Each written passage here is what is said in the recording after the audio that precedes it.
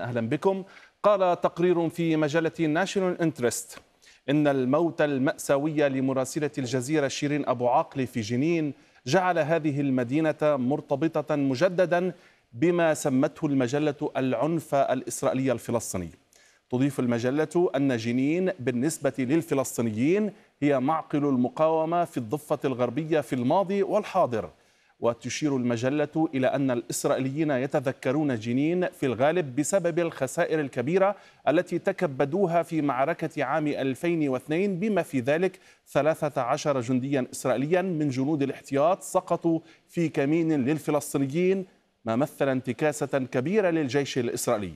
بالنسبة للفلسطينيين تركت المعركة ذكريات مقاومة خالدة رغم أن صور الدمار في موقع الكمين كان لها أيضا تأثير طويل المدى وكذلك فقدان العديد من المقاتلين والقادة.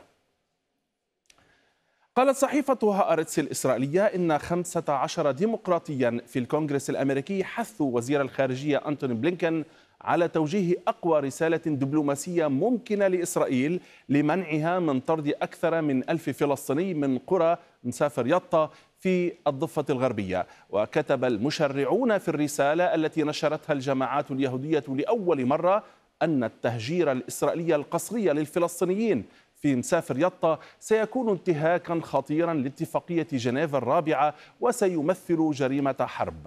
وأضافوا أن استمرار إسرائيل في خططها يحتم على وزارة الخارجية والسفارة الأمريكية في إسرائيل التصرف فورا من قبيل التدقيق في صادرات السلاح الأمريكي لإسرائيل واستعمالاته وإرسال مراقبين لتوثيق عمليات الطرد وتفاصيلها والمشاركين فيها. قللت مجلة جون أفريك مما سمتها نوبة الغضب التي انتابت الرئيس التونسي قيس سعيد مما اعتبره تدخلا أوروبيا في شؤون بلاده. ورأت المجلة أن غضب سعيد غير مبرر وقالت إن الأوروبيين الذين استاء منهم هم ذاتهم أصحاب الفضل في تجاوز تونس بعض أزماتها المالية خلال السنوات القليلة الماضية عبر مساعدات مالية. آخر المساعدات الأوروبية وفق المجلة دفعة من 300 مليون يورو سمحت للحكومة التونسية بدفع رواتب الموظفين. وكان الرئيس سعيد قد هاجم بحدة ما تسمى لجنة مدينة البندقية بسبب تقرير سلبي عن الأوضاع السياسية في تونس أعدته بطلب من بعثة الاتحاد الأوروبي. في سياق متصل شكك موقع رسالة الأطلس في استضافة تونس لقمة منظمة الدول الفرنكوفونية المقررة الخريف المقبل. الموقع أرجع الشكوك حول انعقاد القمة الفرنكوفونية إلى التطورات السياسية في تونس مع حل الرئيس سعيد المؤسسات الديمقراطية وإحكام قبضته على السلطة. واعتبر الموقع أن ذلك يحرج الدول الكبرى في المنظمة. وأوضح الموقع الفرنسي أن انعقاد القمة في تونس من عدمه في يد رئيسة المنظمة لويز موشيكيوابو لكن الأخيرة تتلقى التوجيهات من فرنسا التي بدورها تحتاج إلى التنسيق مع كندا. في الشأن الأوكراني عادت صحيفة نيويورك تايمز إلى إعلان الرئيس جو بايدن تزويد أوكرانيا بأنظمة صواريخ وذخائر متطورة. الصحيفة تنقل عن مسؤول كبير في الإدارة قوله إن منظومة الصواريخ المقصودة بكلام بايدن هي الأكثر تطورا بين الأسلحة الممنوحة للأوكرانيين حتى الآن. وأضاف أن واشنطن لم تتعهد بهذه المنظومة إلا بعد ضمانات مباشرة من المسؤولين في أوكرانيا بأنهم لن يستخدموها ضد أهداف داخل الأراضي الروسية. وتلفت الصحيفة إلى أن إدارة بايدن لجأت إلى التوسع بشكل تدريجي في الأسلحة التي قدمتها للأوكرانيين تماشيا مع تطورات الحرب على الأرض. ويسود قلق بين كبار المسؤولين الأمريكيين من احتمال أن تستعمل أن تستعمل أوكرانيا الأسلحة التي توفرها لها واشنطن ضد أهداف داخل العمق الروسي ما سيؤدي إلى حرب أوسع مع موسكو. أشارت صحيفة وول جورنال إلى أن العقوبات الأخيرة التي فرضها الاتحاد الأوروبي على روسيا كانت أقصى مما كان متوقعا.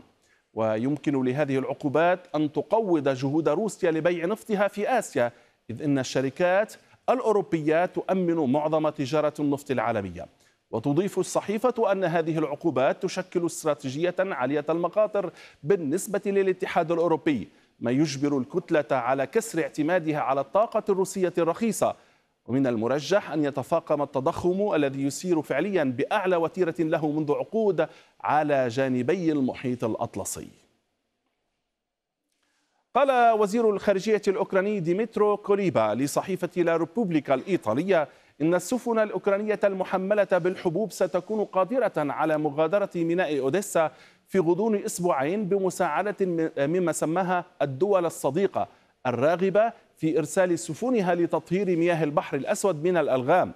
وأضاف كوليبا أن كسر الاعتماد على الغاز والنفط الروسيين يصب في مصلحة الاتحاد الأوروبي لا سيما أن بوتين أثبت أنه قادر على استغلال هذه الموارد للضغط والتأثير سياسيا واقتصاديا على أوروبا. ولفت كوليبا إلى أن الخطوة التالية الواجب اتخاذها بعد حزمة العقوبات السادسة هي جعل الاقتصاد الروسي يجثو على ركبتيه لإجبار بوتين على وقف غزوه لأوكرانيا وفق تعبيره. نطالع في موقع ميدل إيست آي البريطاني أن سنوات متواصلة من العقوبات الأمريكية والضغوط دمرت الاقتصاد الإيراني. ويضيف التقرير بينما تتواصل مفاوضات الملف النووي بين واشنطن وطهران يترنح الاقتصاد الإيراني تحت وقع آثار مدمرة للعقوبات عنوانها ارتفاع التضخم وتراجع الناتج القومي والتهاب الأسعار. وينبه التقرير إلى أن عامة الإيرانيين هم من يدفعون الثمن الأكبر لآثار العقوبات مضيفا على لسان خبراء في المجلس الأوروبي للعلاقات الدولية أن إيران لم تصل بعد إلى أزمة جوع لكن خسارة الناس لقدرتهم الشرائية هي وجه آخر من الأزمة الإنسانية التي تعانيها. ذكرت صحيفة الجارديان أن إثيوبيا شنت حملة قمع واسعة استهدفت ميليشيا فانو حليفها السابق في صراع تجري أدت إلى اعتقال أكثر من أربعة ألاف شخص بينهم صحفيون ونشطاء وجنرال سابق.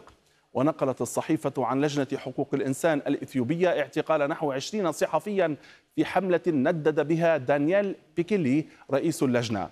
وقال بيكيلي إن قانون الإعلام الإثيوبي يحظر بوضوح الاحتجاز السابق للمحاكمة بسبب أي جرم مزعوم ارتكب من خلال وسائل الإعلام داعيا إلى إطلاق سراح الإعلاميين المحتجزين. وقالت زولا موكس عضو البرلمان الإقليمي في أمهرة إن الحكومة تعتبر الآن ميليشيا فانو خطرا عليها على الرغم من اعتمادها على الجماعة عندما حاربت جبهة تحرير تجراي العام الماضي. كتبت صحيفة التايمز عن اتهامات تطال المستشار الألماني أولاف شولتز لتشبيه نشطاء المناخ بالنازيين عندما وبخ مجموعة منهم لكن المتحدثة باسم شولتز رفضت هذا الادعاء. وأشارت الصحيفة إلى عارضة عبر الإنترنت جمعت ما يقرب من خمسين ألف توقيع تدعو شولتز إلى توضيح موقفه من الموضوع. ولفتت الصحيفة إلى أن شولتز تعرض للإزعاج مرارا وتكرارا خلال ظهوره العلني من قبل نشطاء مدربين على التشويش وممن لا يهتمون بخوض نقاشات جادة وفق تعبيرها. يتزامن ذلك مع تراجع الدعم للحزب الديمقراطي الاشتراكي الذي ينتمي إليه شولتز إلى أدنى مستوى له منذ أن أصبح مستشارا. كان هذا آخر خبر في هذه الجولة.